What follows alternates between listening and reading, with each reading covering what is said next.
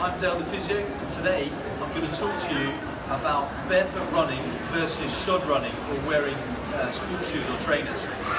So the foot has developed over thousands of years, whereas trainers have only been about for the last 40. The concept of barefoot running comes from an increased amount of injuries from running.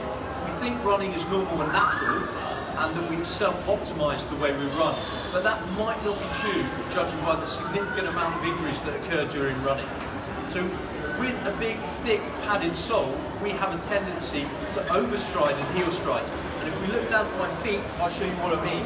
This is overstriding outside our base of support, okay, and this is heel striking. Both of these techniques have been shown to be ineffective at movement efficiency and also might be causing injury. So the foot is a compromise between shock absorption and a rigid lever. So if I show you this concept here, as the, the heel strikes, we get a pronation effect that absorbs shock, then the foot becomes a rigid lever as we toe off.